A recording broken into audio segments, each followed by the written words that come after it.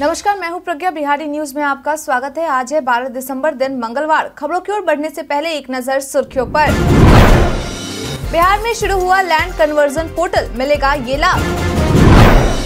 अपराध और अपराधियों की सूचना देने के लिए इस टोल फ्री नंबर को कड़े से शिक्षा विभाग ने डीईओ को दिया एक और नया टास्क। बिहार में बढ़ेगी कनकनी। भारत और साउथ अफ्रीका के बीच खेला जाएगा आज दूसरा टी मुकाबला। अब चले बढ़ते हैं बिहार के अब तक की 25 बड़ी खबरों की ओर विस्तार से। उत्तराखंड अधीनस्थ सेवा चयन आयोग में 236 पदों पर निकली भर्ती।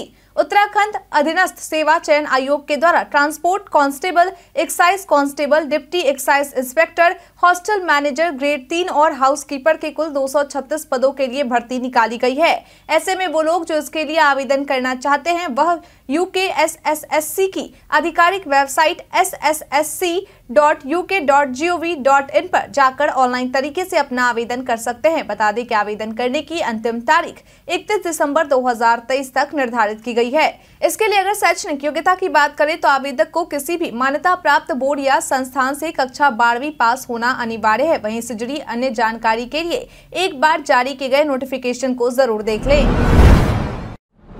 बिहार में शुरू हुआ लैंड कन्वर्जन पोर्टल, मिलेगा ये लाभ बिहार में औद्योगिकरण की प्रक्रिया को बढ़ाया जा सके इसके लिए बिहार सरकार के राजस्व एवं भूमि सुधार विभाग के द्वारा एक महत्वपूर्ण कदम उठाते हुए कृषि भूमि को गैर कृषि प्रयोजनों के लिए संपरिवर्तन की पूरी प्रक्रिया को ऑनलाइन कर दी गई है। बता दें कि इस कार्य को करने के लिए विभाग की ओर से एक पोर्टल भी तैयार किया गया है, जो की land conversion dot Bihar dot G O V dot in है। ऐसे में अब कोई भी उद्यमी घर बैठे इस पोर्टल पर जाकर ऑनलाइन आवेदन कर सकते हैं और साथ ही लैंड कन्वर्जन प्रमाण पत्र को ऑनलाइन डाउनलोड भी कर सकते हैं। वहीं सबके अलावा अब भुगतान की प्रक्रिया को भी ऑनलाइन कर दिया गया है।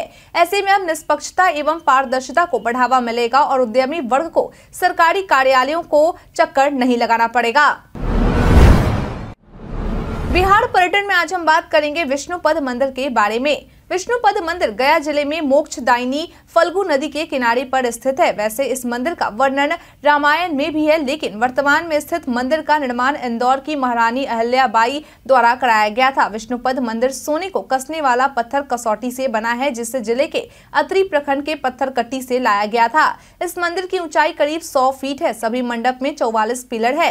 इस मंदिर की भव्यता और वैभव अद्भुत है, जैसा की नाम से पता चलता है। विष्णुपद मंदिर चालीस सेमी लंबे पद चिन्ह के लिए प्रसिद्ध है, जिसमें संकम चक्रम और गधम सहित नौ प्रतीक हैं। कहा जाता है कि भगवान विष्णु के अस्त्रों का प्रतीक है, विष्णुपद, जिसे धर्मशिला के नाम से भी जाना जाता है। एक ठोस चट्टान पर उत्कीर्ण है और चांदी के धातु से सुसज्जित है। इन पद चिन्हों का श्रृंगार रक्त चंदन से किया जाता है। इस पर गदा, चक्र, शंख आदि अंकित किए जाते हैं। यह परंपरा भी काफ़ी पुरानी बताई जाती है, जो कि मंदिर में अनेक वर्षों से की जा रही है। इस मंदिर का अष्टकोणीय आकार इस मंदिर की भव्यता को बेहद आकर्षित बनाता है। ऐसी भी मान्यता है कि पितरों के तर्पण के पश्चात मंदिर में भगवान विष्णु के चरणों के दर्शन करने से समस्त दुखों का नाश होता है एवं पूर्वज पुण्य लोग को प्राप्त करते हैं। अपराध और अपराधियों की सूचना देने के लिए इस टोल फ्री नंबर को करे सेव बिहार में अपराध और अपराधियों पर नकेल कसने के लिए बिहार पुलिस अलर्ट मोड में है। बता दें कि बीते दिन बिहार पुलिस मुख्यालय के अपर पुलिस महानिदेशक मुख्यालय जे एस गंगवार के द्वारा जानकारी देते हुए बताया गया कि राज्य में हत्या, रेप और लूट जैसे गंभीर अपराधों की जानकारी देने के लिए टोल फ्री नंबर एक चार चार तीन दो जारी किया गया है। उन्होंने बताया कि इस नंबर पर जिस भी व्यक्ति के द्वारा सूचना दी जाएगी, उसके नाम को गुप्त रखा जाएगा। मालूम हो कि बिहार और राज्य के बाहर से भी इस टोल फ्री नंबर पर सूचना दर्ज की जाएगी। इस नंबर पर 24 घंटे और सातों दिन सूचना दी जा सकती है। एडीजी जितेंद्र सिंह गंगवार के द्वारा दी गई जानकारी के अनुसार इस नंबर पर देश के किसी भी कोने से सूचना दर्ज की जा सकती है। बिहार सरकार अब शादी ब्याह के लिए देगी हेलीकॉप्टर। बिहार सरकार के पर्यटन विभाग के द्वारा एक खास योजना बनाई गई है, जिसके तहत विभाग की ओर से पर्यटकों को लुभाने के लिए राज्य में हेलीकॉप्टर भ्रमण सेवा की शुरुआत की गई है। वहीं इसमें सबसे खास बात यह है कि इस हेलीकॉप्टर को न केवल पर्यटक स्थलों पर भ्रमण करने के लिए इस्तेमाल किया जा सकता है, बल्कि अन्य कार्यो को लेकर भी इस हेलीकॉप्टर को बुक किया जा सकता है। यानी कि अब लोग इस हेलीकॉप्टर को शादी ब्याह और प्री वेडिंग सूट के लिए भी बुक कर सकते हैं। इसके साथ ही चार्टर बुकिंग की भी सुविधा उपलब्ध है, जिसमें इमरजेंसी रेस्क्यू भी शामिल है। हालाँकि फ़िलहाल फ़िलहाल यह सेवा एयरपोर्ट से एयरपोर्ट दी जाएगी। मालूम हो कि सेवा की शुरुआत पर्यटन विभाग के सचिव अभय कुमार सिंह, उद्योग मंत्री समीर महासेठ, कृषि मंत्री कुमार सरजीत के द्वारा गया में शुरू की गई है, जिसमें गया, बोधगया और राजगीर के सभी धार्मिक स्थलों के एरियल व्यू का मज़ा लिया जा सकता है। नवनियुक्त शिक्षकों को तीन कैटेगरी में मिलेगी आवाज़। बिहार लोक सेवा आयोग से चयनित सभी नवनियुक्त शिक्षकों को बिहार सरकार की ओर से तीन कैटेगरी में आवास मिलेगा। हालाँकि इसके लिए पहले शिक्षकों को आवेदन पत्र लिखकर अपनी इच्छा बतानी होगी। मालूम जिला शिक्षा कार्यालय के द्वारा स्कूलों को आवेदन पत्र भेजा गया है जिसे नवनियुक्त शिक्षकों को भरना है। इसके बाद उस आवेदन के आधार पर ही शिक्षकों के द्वारा दी गई जानकारी के अनुसार उनके लिए आवास का निर्माण कराया जाएगा। आपकी जानकारी के लिए बता दें कि बिहार सरकार की ओर से सभी नवनियुक्त शिक्षकों को जो तीन कैटेगरी के घर दिए जाएँगे, उनमें एक कमरे वाला घर, दो कमरे वाला घर और तीन कमरे वाला घर शामिल होगा। वहीं जो शिक्षक मकान लेंगे, उन्हें आवासीय भत्ता नहीं दिया जाएगा और जो शिक्षक आवास नहीं लेंगे, उनके खाते में सीधे आवास की राशि भेज दी जाएगी। मालूम हो कि आवेदन करने के दौरान शिक्षकों को जिन बातों की जानकारी देनी होगी, उसमें सबसे पहले ये बताना होगा कि वे नियोजित शिक्षक है या बीपीएससी अध्यापक।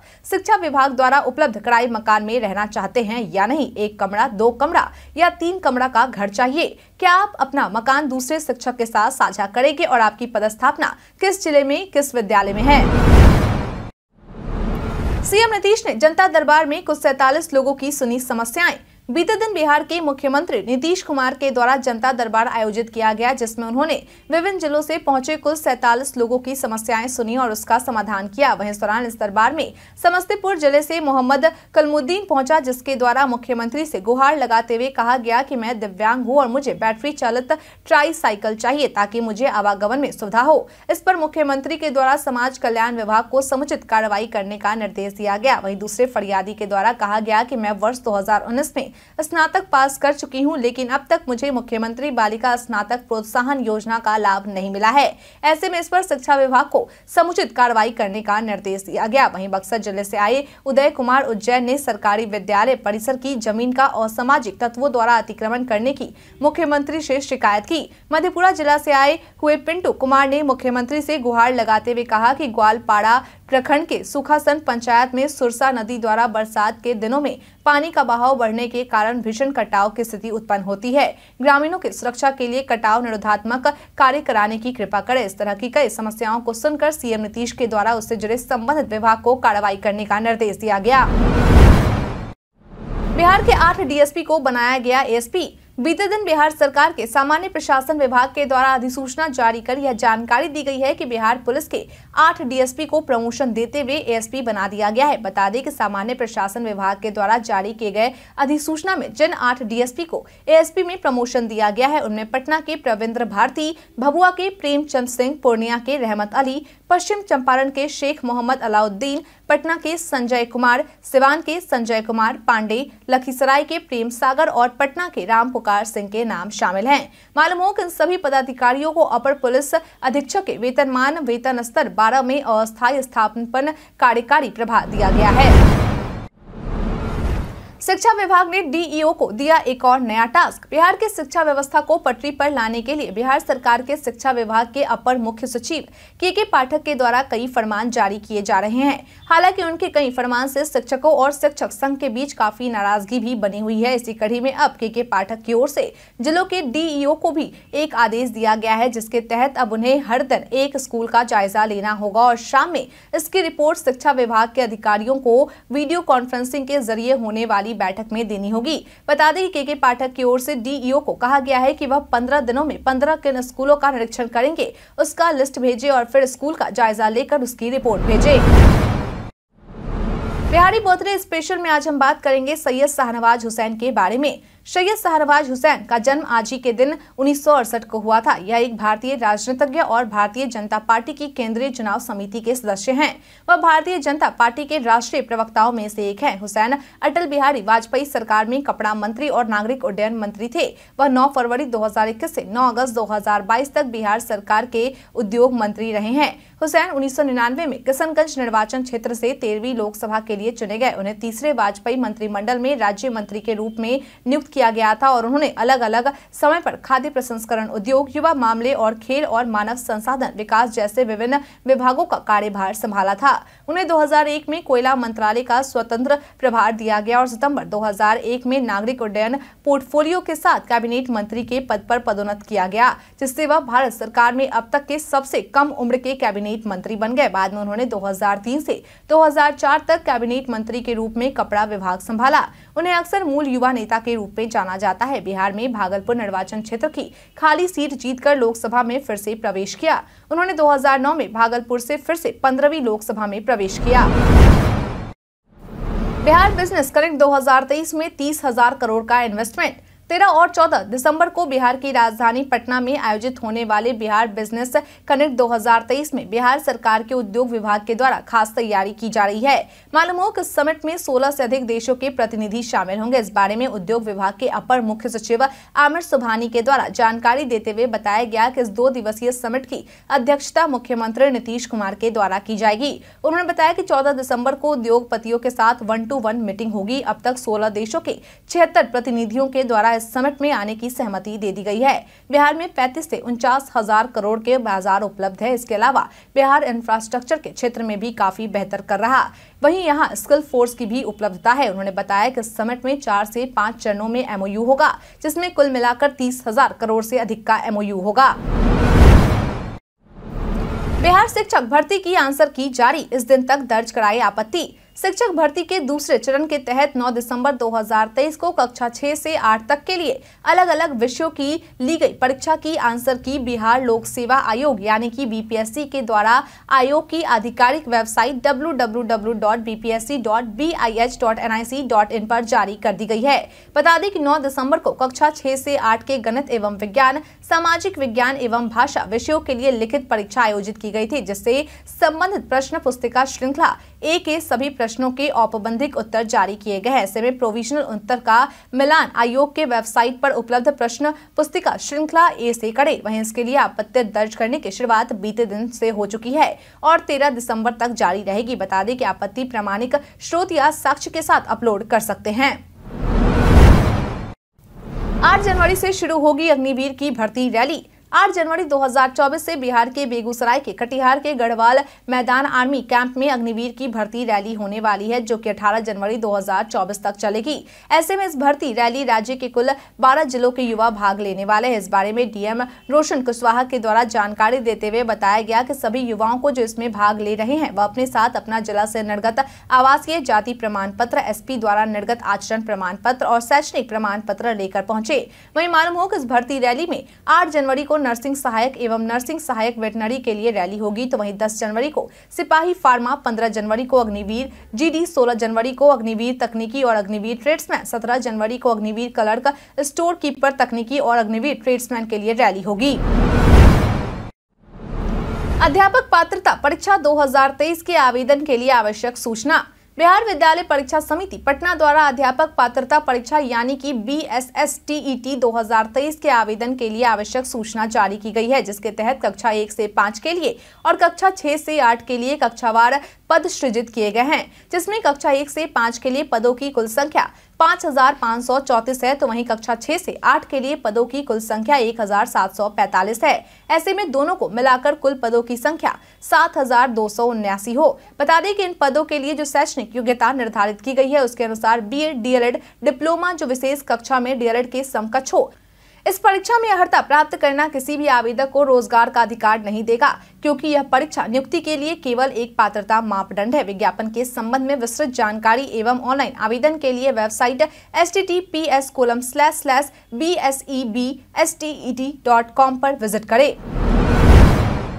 बिहार में बढ़ेगी कनकनी। बिहार में मौसम ने अब करवट बदल दी है। पछुआ हवा के प्रवाह से राजधानी सहित जिलों के तापमान में गिरावट आने से ठंड में बढ़ोतरी हुई है। मौसम विज्ञान केंद्र के वरिष्ठ वैज्ञानिक डॉक्टर आशीष कुमार के अनुसार अगले पाँच दिनों के दौरान सुबह के समय राज्य के अधिकांश भागों में हल्के से मध्यम स्तर का कोहरा छाए रहने का पूर्वानुमान है। साथ ही राज्य के अधिकतम और न्यूनतम तापमान में गिरावट दर्ज हो रही है। मौसम विज्ञान केंद्र से प्राप्त जानकारी के मुताबिक पछुआ हवा का प्रवाह बना हुआ है। इसी वजह से तापमान में गिरावट दर्ज हुई है। अधिकतम के साथ न्यूनतम तापमान में भी गिरावट जारी है। पछुआ हवा ने ग्रामीण क्षेत्रों के साथ साथ शहरी क्षेत्रों में भी कनकनी बढ़ा दी है।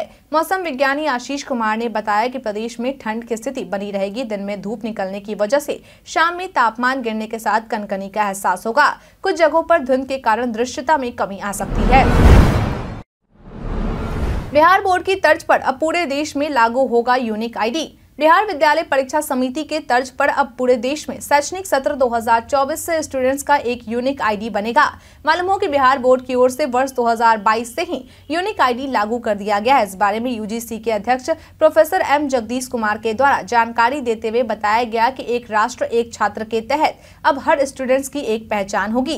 इससे automated permanent academic account registry नाम दिया गया है। बता दें कि यह यूनिक आईडी स्टूडेंट्स को पूरे जीवन भर काम देगी। यह आईडी बोर्ड परीक्षा से लेकर जेई नीट, सीयूईटी के साथ अन्य प्रवेश व प्रतियोगिता परीक्षाओं में काम करेगी। वहीं इसके अलावा यह यूनिक आईडी बाल वाटिका से लेकर पीएचडी की पढ़ाई और नौकरी तक मददगार होगी। यह डिजी लॉकर व एकेडमिक बैंक ऑफ़ क्रेडिट से जुड़ा होगा।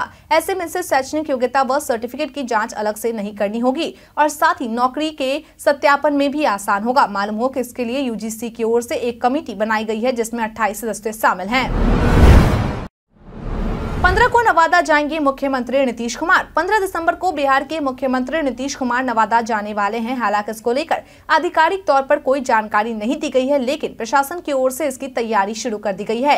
बता दें कि इसको लेकर बीते दिन बिहार सरकार के जल संसाधन मंत्री संजय झा के द्वारा पौड़ा गाँव पहुंचकर कामकाज का जायजा लिया गया। इस दौरान उन्होंने गया डैम का निरीक्षण किया और साथ ही बिहार के सीएम नीतीश कुमार की आगमन पर डीएम, एसपी व अन्य अधिकारियों को कई दिशा निर्देश भी दिए।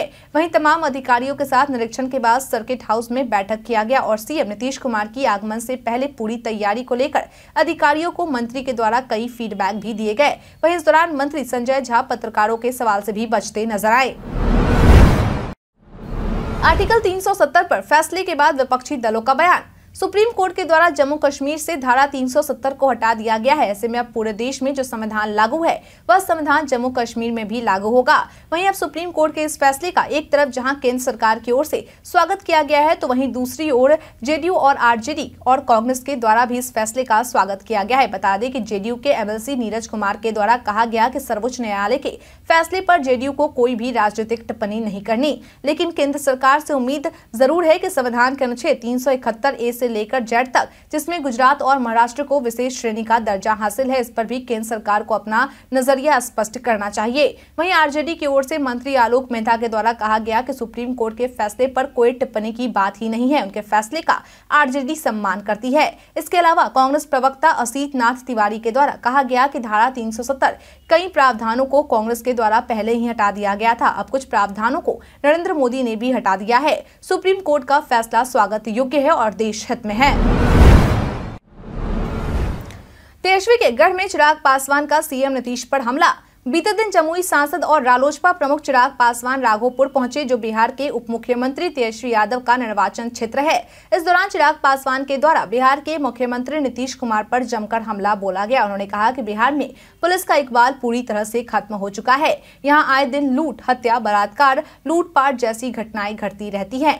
अब यहाँ आम बात हो गई है, लेकिन इन सब पर बिहार के मुख्यमंत्री नीतीश कुमार के द्वारा एक भी बयान नहीं दिया जा रहा।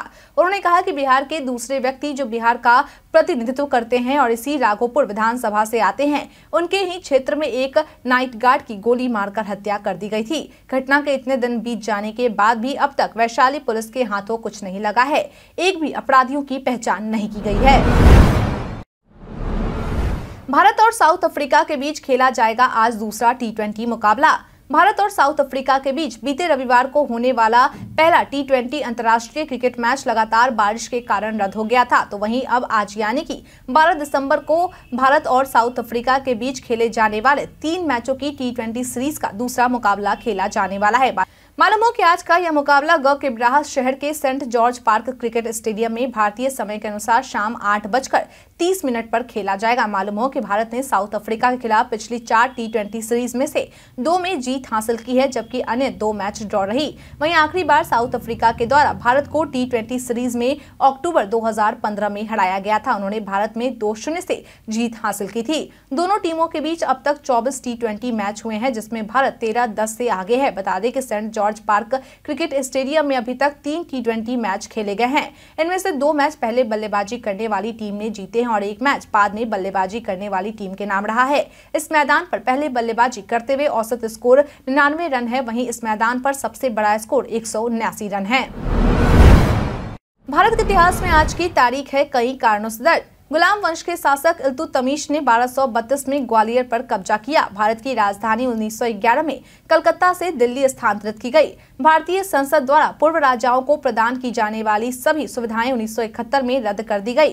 टी एन शेषन 1990 में मुख्य निर्वाचन आयुक्त हुए। भारत एवं बांग्लादेश के मध्य उन्नीस सौ छियानवे में गंगा जल के बंटवारे को लेकर तीस वर्षीय संधि पर हस्ताक्षर हुआ।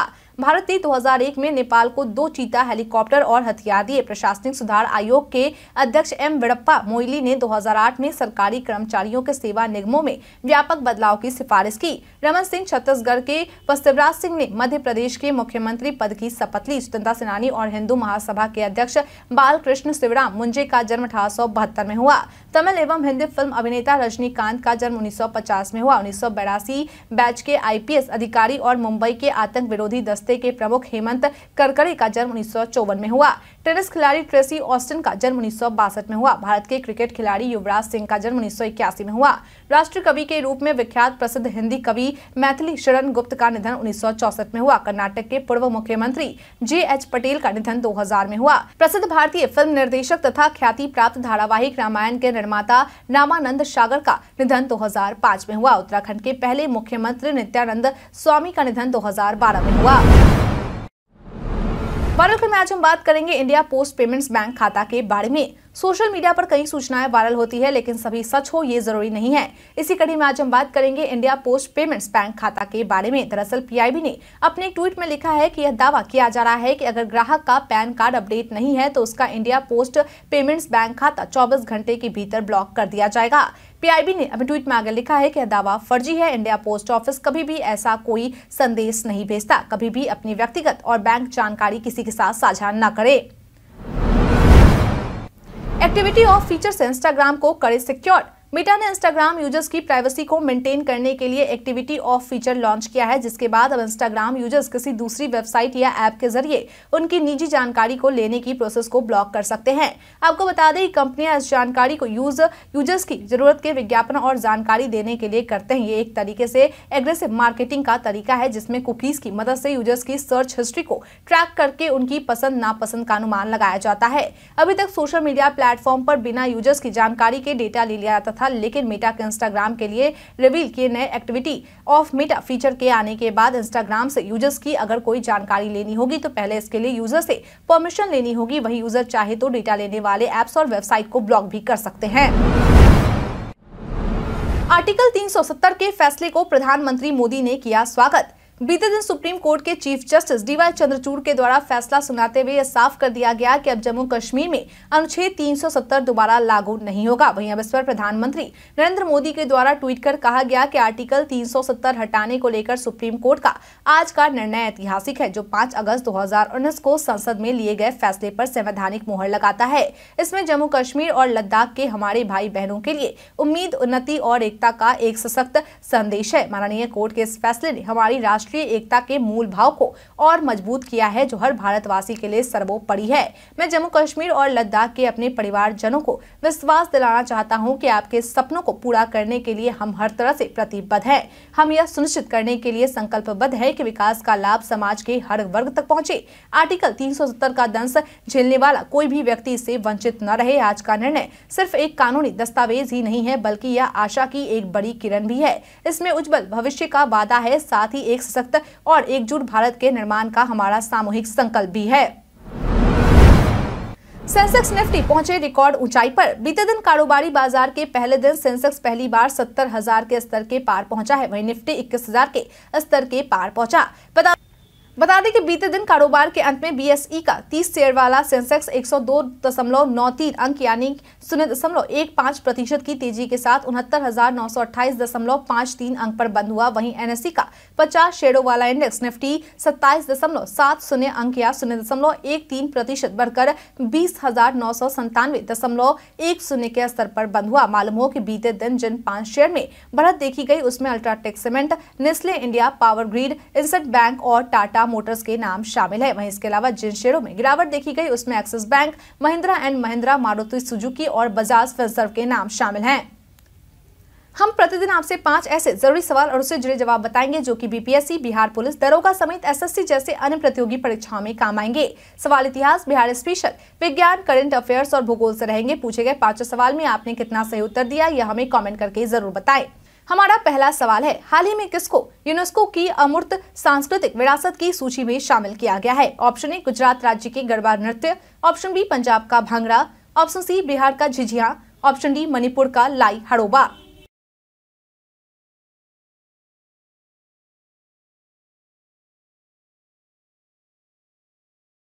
इसका सही उत्तर है ऑप्शन ए, गुजरात राज्य के गरबा नृत्य। अगला सवाल। हाल ही में भारत सरकार के संस्कृति मंत्रालय द्वारा किस प्रोजेक्ट को शुरू किया गया है? ऑप्शन ए मेरी माटी, मेरा देश। ऑप्शन बी सबका साथ, सबका विकास। ऑप्शन सी मेरा गाँव, मेरी धरोहर। ऑप्शन डी इनमें से कोई नहीं।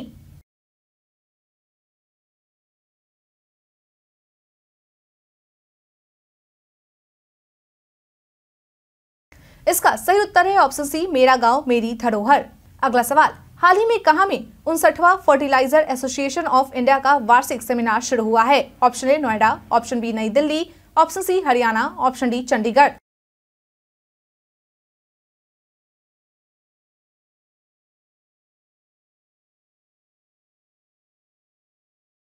इसका सही उत्तर है ऑप्शन बी नई दिल्ली।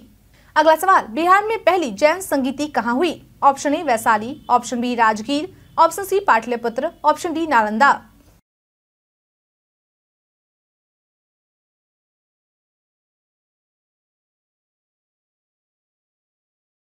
इसका सही उत्तर है ऑप्शन सी पाटलिपुत्र। अगला सवाल, बिरसा मुंडा के नेतृत्व में कौन सा विद्रोह हुआ था? ऑप्शन ए कोल विद्रोह। ऑप्शन बी भूमिज विद्रोह। ऑप्शन सी संथाल विद्रोह। ऑप्शन डी मुंडा विद्रोह।